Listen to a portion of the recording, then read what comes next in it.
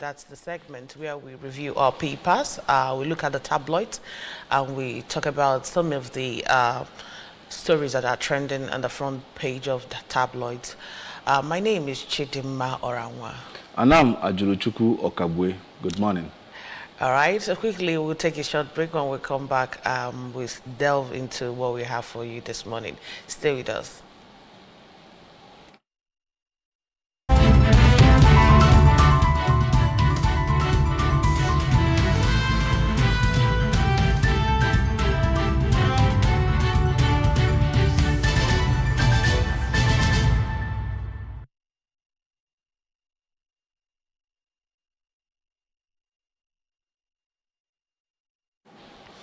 All right, you're welcome back. And today uh, it's one of the special edition where we'll be doing it alone in the studios this morning.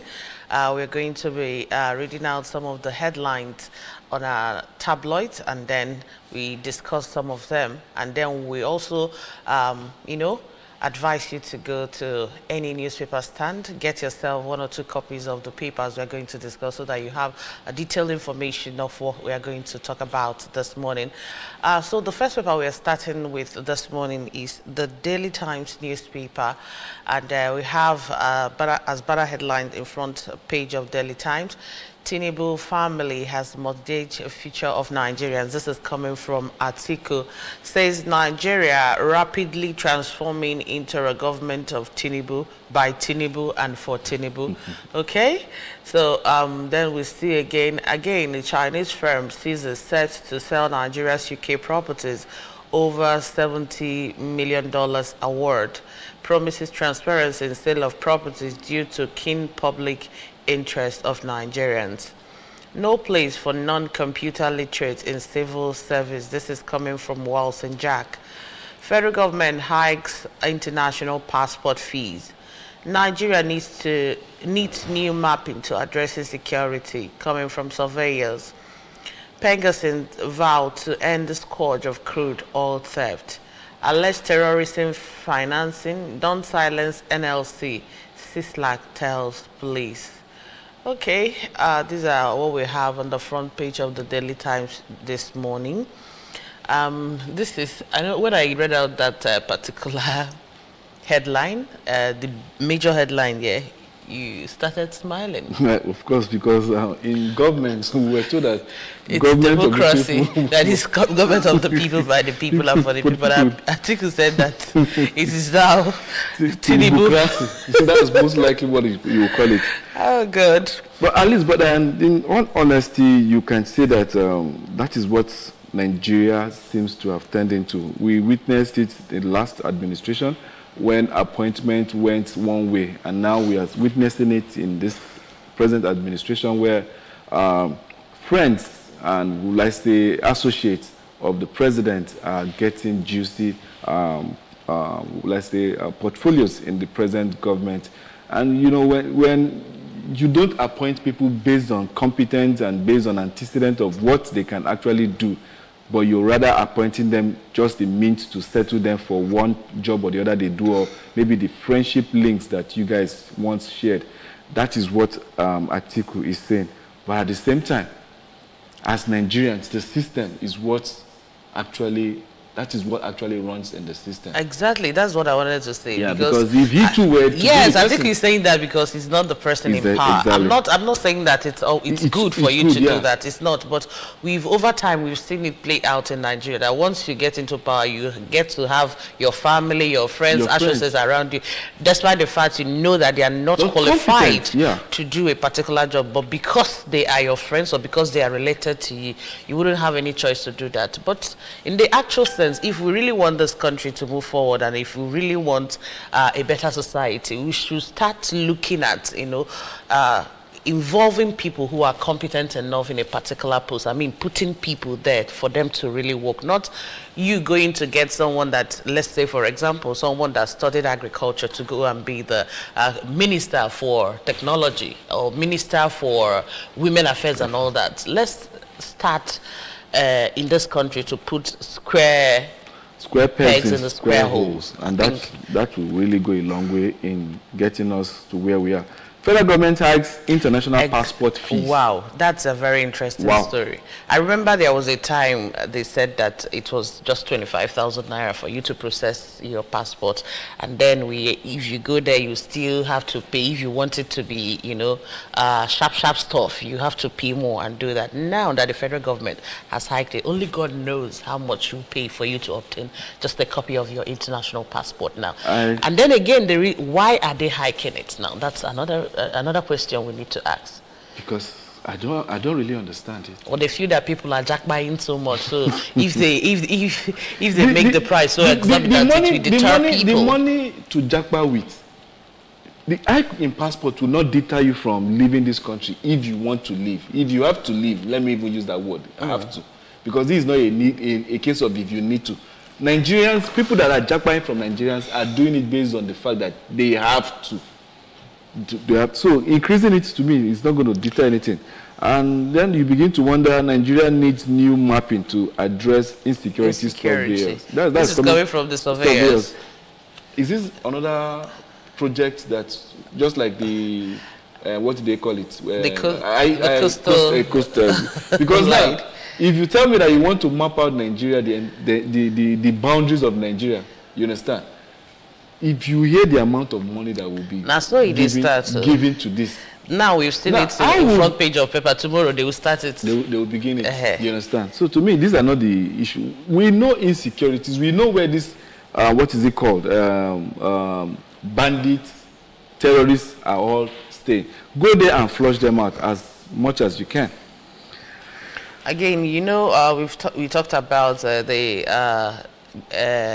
Ajaero being invited yeah, by the yeah. police, and now like is telling the police that they shouldn't shouldn't silence NLC, Nigeria Labour Congress, because of the alleged terroristic financing. I mean, that's one of the allegation against the uh, NLC, NLC, boss. Yeah. Yes.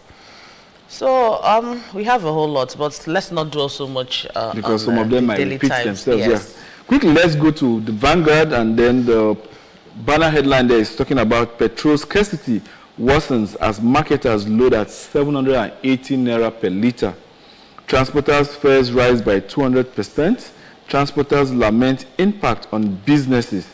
Nigeria becoming failed state. That's coming from PENGASSAN. And then on the mast there of the Vanguard, you see food inflation reducing We'll reduce it further, finance minister. End bad governance, CSOs berate federal government over prolonged detention of protesters without charges. Federal government increase international passport fees. Police invitation to Ajaero. More critical unions give strike notices. And then we have uh, the picture of um, P2B and uh, the former vice president. I think uh, the Democratic Convention in the U.S. Federal Government finally criminalizes vandalism of telecom facilities in new gazette. Nigeria made Dangote a colossus. It must now handle him wisely. Wow, that's interesting. Uh, Sports Minister Dango's 2.4 million cash reward for gold medalist. In which event? Uh, in which sporting event? I should be asking you. okay. We'll get to find out later. Fake certificate, Uganda, Kenya right. Mm. Uganda, Kenya right. JAMB demands student verification. And then let's see what's, uh, okay, that's all we have there. Petrol scarcity worsens at marketers load at 718. Um, Chidima, there is this constant, deliberate hike in price from the day Tinubu became president. Yes. It has been constant, it has been deliberate, and nothing, no one, even Kyari, nobody has come to address this issue. Yesterday, we read about 3 million generated, 3.3 million paid, trillion for subsidy.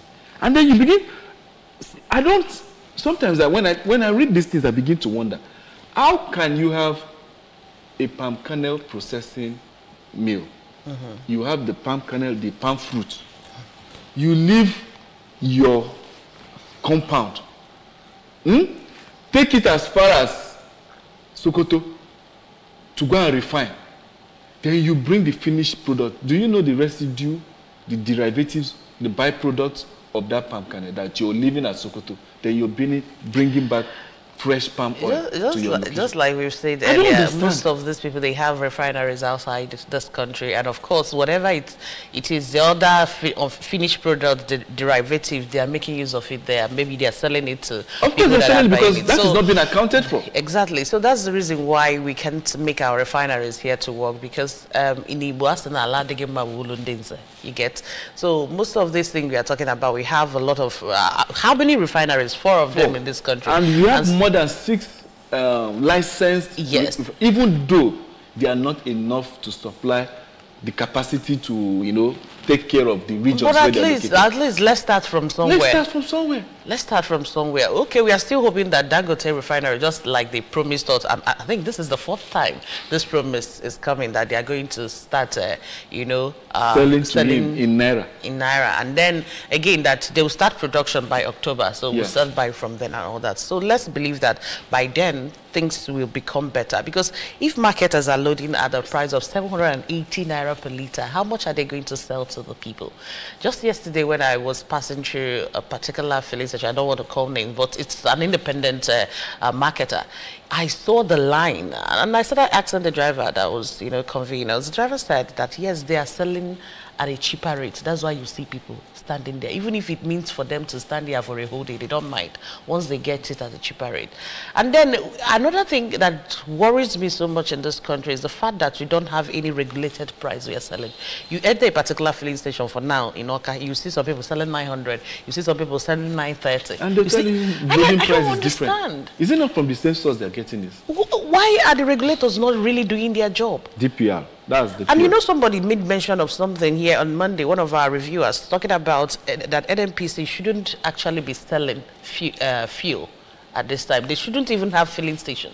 They should just focus on being the regulatory body. Because now, you, if you go to their filling station, they tell you they are selling 680 right? And then you see line, the one in Awka, you see line from there to uh, almost Quarter Junction. People are waiting to buy the day they will open and all that. So, I mean, they should just fix the price and make sure that every marketer is selling at a particular price so that we have uniformity. Wow. All right, um, let's Okay. also see this uh, fake certificates uh, issue, uh, talking about uh, Kenya and Uganda writing JAMB demanding student verification. Well, um, I don't understand the reason why they should be writing JAMB because me, I feel that as an international uh, university, if anybody comes from another country to register, maybe you should subject the person to write a test or something first. If he or she passes the test, then you can enroll the, Enroll person. the person. So I don't know why they would need verification from JAMB in Nigeria before they can actually, you know, take students to or admit students in their universities. Well, I did. Uh, uh, we need to read more about it, uh, maybe to really understand what is going on. But this fake certificate saga, I mean, it's it's nothing to write home about, speaking, especially when every day it's it's about Nigerians in different countries talking about fake certificate and all that. Okay. Um, on that sports uh, story on page um, 31 of um, the Vanguard newspaper, uh, where the sports minister dangles 24, 24 million cash reward for gold medalists. That's actually for the 2024 Paralympic Games Okay. uh, happening in Paris. And then you begin to wonder when the major Olympic happened, nobody told us about um, 24 million. Probably maybe that was why Nigeria came back empty-handed. So this is more like a motivation. A motivation, right? moti- motivation. Okay. That's a good one, though. You don't want to come back empty-handed Empty-handed. again, so let's use this. Let's use this one as a motivation. Exactly. Because spending 12 billion and then going for uh, an Olympic and then coming back empty-handed, uh, it's, it's not uh, speaking well. Okay, so the next paper is the Daily Independent newspaper this morning. Federal government moves to enforce Supreme Court verdict on local government autonomy. That's the big story there. We have riders saying raises 10-man inter-ministerial committee led by Akume implement plan to save 10 billion naira from COP29 expenses.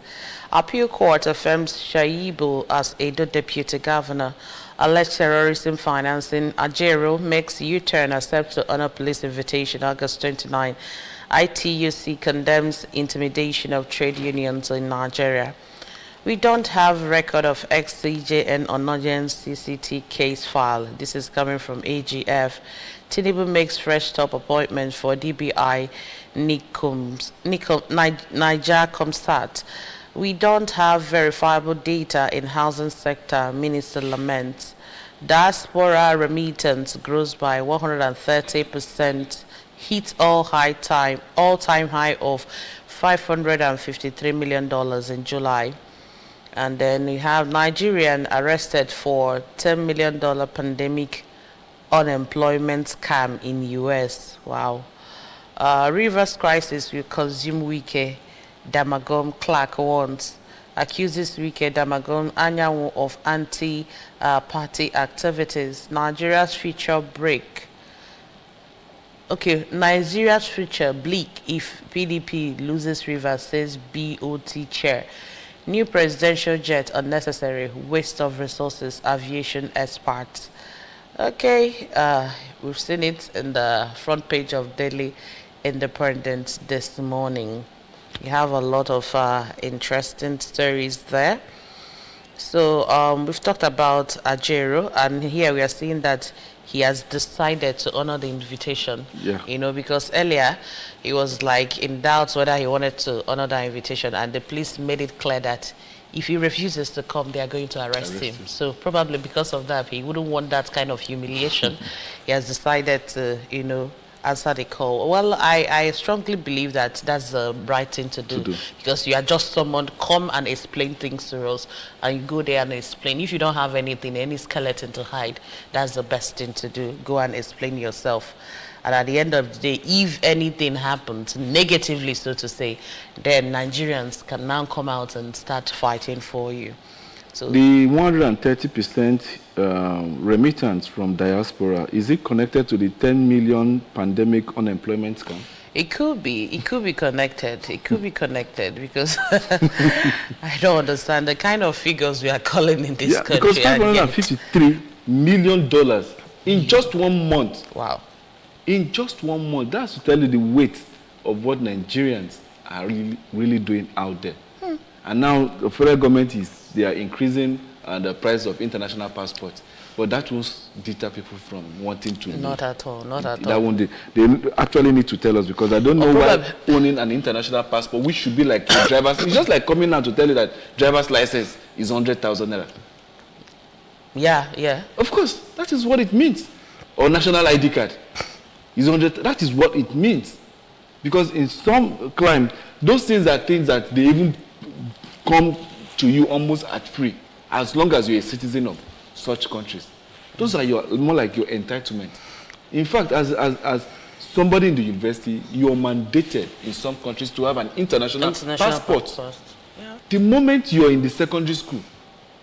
But Nigeria, everything seems to be like it's if they see you at the what is it called? Immigration office, they are seeing you like you want to jackpot, forgetting that there are need that you might need there to go for either to study or to go and do sports or to even go for journalism too to cover events. There are so many reasons for tourism too. Yeah tourism and holidays. And holidays. So why why make because thing things so stressful? People like me, I would have preferred, you know, going out there. If I have the money, if I want to go for a vacation, I'll just go out with my family, have a vacation, and come back.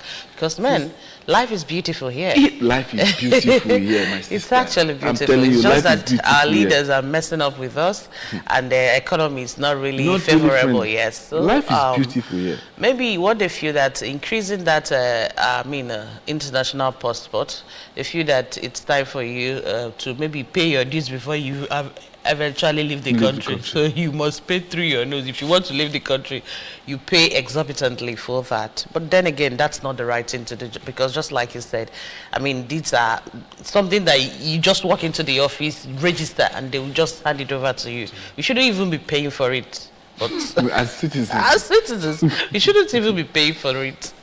But well, then we don't have verifiable data in housing sector, minister laments. Mm. How does that sound? Um, I don't know why sh this should be coming from the minister in the first place. If you don't have the data, why don't you start making it up? Why, so, did, why don't you start What was the sense of the census we did in the last decade? Okay. The one we did in 20, 2006. Can't you generate something from those and probably have your enumerators go down and then do something on the field? You, because this this data is very, very important in order for government to You should understand that the reason why he's saying this is that probably he's pushing for that census to happen. The one that was cancelled. The one that was cancelled. Uh, so okay. maybe he didn't want to come out to say, like, publicly tell the federal government that, I mean, it's time for us to do that. So he's just looking, looking for, for, a, way. A leeway yes. to get to make that happen. Because sincerely speaking, we really need to have exactly. data on housing it's the responsibility of the government to a certain extent to provide housing for the people. Landlords are killing people in this part of the world, sincerely speaking. If, if you don't know, I must confess it. But if housing was part of government's priority, some of these burdens will be taken off civil servants and even those in the private sector. Mm -hmm. Well, I believe maybe something has to be done in, in that aspect. And quickly, let's see what we have on the Nation newspaper. Uh, fresh inflow triples foreign investors' portfolio to 598 billion naira. Total transaction at the NGX rose from 2.15 trillion to 3.1 trillion in one year. Uh, scheme to eliminate trade bottlenecks rolls out. Well, that's coming from the minister. 20, 220 illegal refineries found in one week well, vandalized pipelines also, while airports are performing below capacity by Federal Airports Authority of Nigeria. Minister, our plans for National Youth Dialogue. Passport fees rise to 100,000 and 50,000 applicants abroad not affected. Uh. Plot to remove Damagum uh, Tippins uh, PDP crisis. Wike tackles Clark vows to remain in party. Students, others, um, excited by loans disbursement, and that's on page 15. And then you have EFCC, ICPC, one on uh, procurement uh, breach. That's all you have on the front page of the Nation newspaper. We're talking about, um, in the Vanguard, we're talking about petrol scarcity worsens at, as marketers uh, load at 780 naira per liter and in the nation, you're seeing there at the mast, 220 illegal refineries found in one week. What is happening? It's just that people are looking for ways to enrich themselves in a country where our system is not working. Because had it been our system is working, all these illegal refineries, yes, I know that what they are doing is illegal, but these are people that on their own, they devise the means to be refining oil locally in any way they are doing that. You need to call those people. We, we have been talking and uh, advocating for modular refineries in our country if these people can actually do it illegally and refine and I don't know how how purify the the, the, oil, the uh, whatever, yeah uh, but then again they are doing it in such a way that they are still using it people are using it and somehow this uh, some of these um, marketers will be buying it from them and that's what we use in our what we buy from our filling stations. So why don't you engage these people? And then once you see them, maybe you demolish the whatever it is that they are using to do it, seize whatever you see, and tomorrow they will still come up again. That's that setting up this thing doesn't even take. Exactly. It doesn't That's even the point. Much. But we don't want to do that. We just want to do it the way we want to do it. Look at these people. See, see what they are doing. Yes, they, they might not be doing it the right way. You engage, talk with them, you and see them. how you can train them to do better. And, and even tax them after the whole exactly. thing. Monitor them. Uh, well, I don't know. This country, well, God help us. It's it's it's quite disheartening with the kind of stories we see every every morning in the pages of our tabloids. But then again, we'll keep talking, and we believe that uh, one day the people concerned will, you know, hear what we are saying and also make lives better for Nigerians by Imago doing some of these policies that will be uh, citizen friendly. All right. Um, we also have other papers uh, this morning. I think we take all of them together and then talk on few. Okay. Uh, yes, let's start with uh, the Guardian newspaper. Echoes of cabinet reshuffle trail. Uh, minister's performance a year after. Uh, that's on page 6 of the Guardian newspaper. And then we have expert H diplomacy as the Chinese firm lists the country's assets for sale. Nigeria to begin revocation of dormant oil wells licenses. Uh, stakeholders set agenda for Kekere Ekun new CJN. Arabambi alleges a plot by Ajaero to spark civil unrest. Tinubu has mortgaged Nigeria's future to family friends, says Atiku. Wike Damagum defend the standpoint as PDP crisis, uh, Rivers crisis fester. Tough times ahead as subsidy shaves 7.7 trillion naira of FAC allocations. Okay, well, uh, let's see the other paper. Airstrike killed five uh, Boko Haram commanders in Borno. Okay, that's coming that's from National Daily Trust. Uh, yeah, Air Force, and that's Daily Trust. And then we have um, Kano Anti-Graft Agency probes 660 million freshwater contract scam. Wow. Federal government, uh, federal government targets 100 billion dollars investment, 2 million jobs from creative economy. Northern Group to meet leaders over region's problems. Uh, PDP crisis, if I open up, it won't be pleasant. That's coming from Damagum. Ribadu, El Rufai, Tambuwal meet at Atiku's residence in Abuja. Mm. Federal government hikes passport fees. Abducted Sokoto district head dies in captivity. Mm. That's touching. The Tribune next. Okay, uh, next paper is the Tribune newspaper this morning. Uh, Rivers crisis, Damagum opens up on controversial letter to appeal court. And we have uh, there saying, replies Clark says those asking him to resign are undermining party's neck. As main opposition inaugurates reconciliation and disciplinary committees, I won't leave PDP. I will stay and fight. Uh, Wike is saying that one. And then withdraw uh, invitation to Ajaero. Opposition lawmakers tell police says, allegation unbelievable, recipe for crisis. Don't silence labor leader CISLAC uh, cautions police $500 million domestic bond investors' right to access funds protected under law Edu.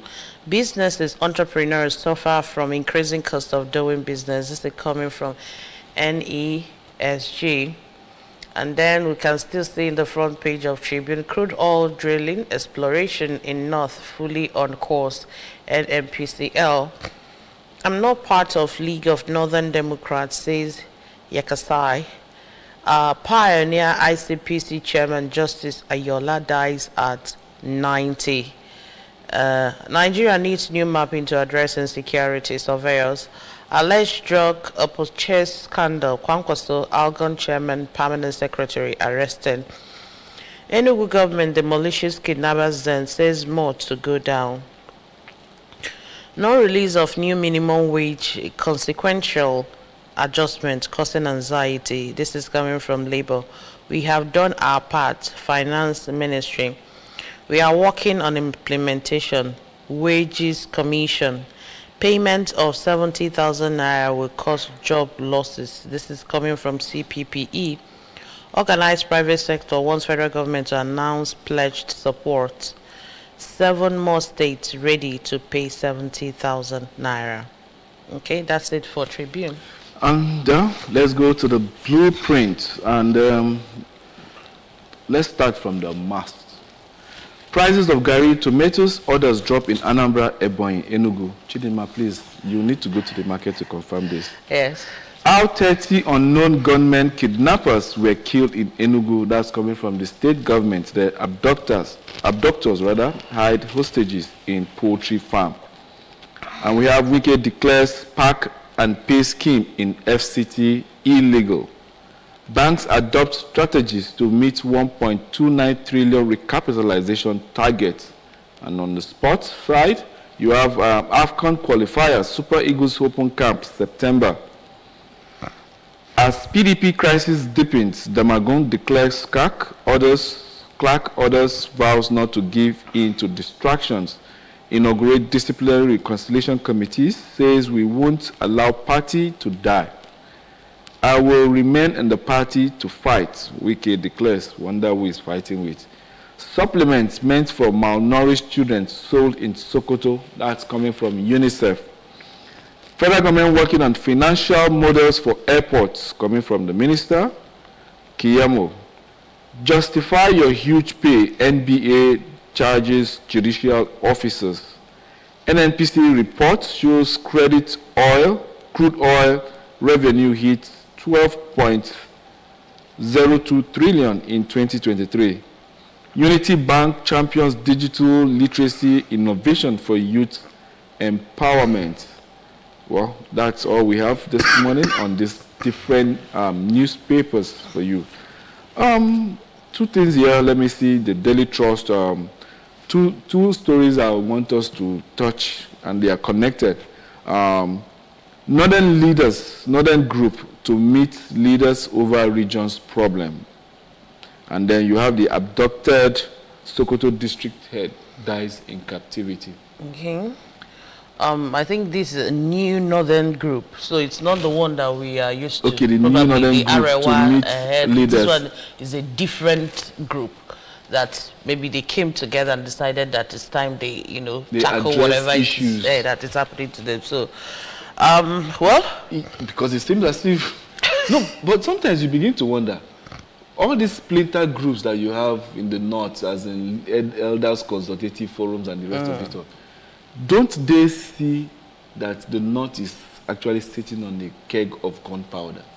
As in, when you, if you've lived in the north, you will understand what I'm talking about. The burgeoning rise of these Almajiri children. Mm-hmm.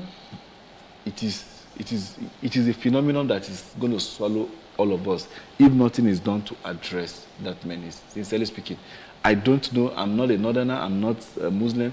I don't know what you can do in order to change the mindset of children that have been on the street for 10 years of their life or more than that how do you begin to rehabilitate such? Well, I think I think the problem will even start from the people giving birth to them. I mean, the, the ones that are already 10, 15 years old, there's nothing we can do about them. It's just to see a way to, you know, make them blend and be, um, I mean, good citizens of the country. But what are the people that will give birth to this number of children and just push them into the streets? For them to go and be the uh, well, you know that that. birth control is a no-no That's what I'm saying. We need to start that reorientation to talk to this way. How can you just give birth to children that you cannot really account for? Most of them, they don't even know where their kids are. All they, all they did was just give birth to them, and the next thing they are off the streets, and you don't even know what is happening to them. I mean, so the reorientation should start from the parents to those people that are, of conceiving age. I mean, if you know that you cannot take care of a child, why giving birth to them? Why bringing people that will be causing problems for us in this country? People that you cannot even, you can't, you, you can't boast of, you know, uh, sponsoring their education, they're feeding them, even and, or even making them to learn one skill or the other. And then they are roaming the streets. The next thing they are turned to terrorists, kidnappers, Kid- bandits. bandit and the rest of it all And it's, it's, it's affecting them because when we talk about terrorism, the worst hit is the northern part of the country. Look at, we are talking about an abducted uh, Sokoto district head that died in captivity. It's no longer funny. So probably that's why this new group Yeah. came up to see how the, these issues can be addressed because the other groups that they have, probably they're not doing anything not doing or anything. maybe they're just enjoying what, what, what is probably actually just happening. there to get power. Exactly. Because power is what concerns them the most. Well, um, also in the front page of the Guardian newspaper, acres of cabinet reshuffle trail uh, minister's performance a year after. I mean, uh, this uh, reshuffling is it going to do anything for us right now? Is it going to uh, help the naira to come down from 100 and uh, what It's more likely to like connected to what Atiku said. So the, a, a, a, a, group of Tinubu's friends and associates have enjoyed one year. Mm. So let's bring in a fresh group so Wow. that they too will enjoy because To me, that's the essence of it. That's what it seems like. Because what we should be talking about, or maybe but on the other side, maybe competence Yeah. might now be coming. Yeah, in. let's let's look at the You positive side. let's yeah? look at the, the no, let's say the first one year was guy we've given you opportunity to go make money for yourself based on the promises i made to you. Uh-huh. now leave. Let me use the remaining three years and get people that will fix this economy. Because if you can see in the cartoon um, picture there the caricature there you will see the young man holding his uh, uh, what is it called? Uh, saw and hammer trying to fix a, a dilapidated wardrobe or cupboard as the cabinet or whatever you call it it looks like that but then let us believe that the cabinet reshuffle will be bringing in technocrats experts to come and begin to wrestle this country and fix it. Hopefully probably if there will be a need for seeking re-election we'll now probably begin to talk about that. But for now let's believe that it's for the good and not servicing his friends and associates hmm. Okay, um, prices of garri, tomatoes, others drop in Anambra, Ebonyi, and Enugu. You know, this is the kind of story people like you of course people like you because this is, will be interested in. But I just hope it doesn't end in the page, uh, in the front page of a tabloid uh, of a newspaper this morning. That it's also happening in the market as we speak now. Uh, I think on Monday we, we read about tomatoes dropping uh, in the north. in north, but today, and we are saying why why Why, why not, why why it's not happening in Anambra. but- so now by Thursday it has gotten down to to. Anambra. So probably, uh, I know a lot of people want to go to the market and see that a pint bucket of garri is like 2,000 naira now. Probably. Probably. or that, um, what else do you have there? Tomatoes. That the basket of tomatoes is being sold for 50,000 naira now, not 100 and something Something naira. Okay, um, I mean, that's it for our press review this morning. So, if you want to get details of all the stories, uh, the headlines that we read out this morning, all you need to do is just to get yourself a copy or you go to the newspaper stand and read to your satisfaction and get all the information that you need on the stories. On that note, we say a very big thank you to you for being part of our press review this morning. My name is Chidima Orangwa. And I'm Ajuluchuku Okabwe. Thank you so much for joining us.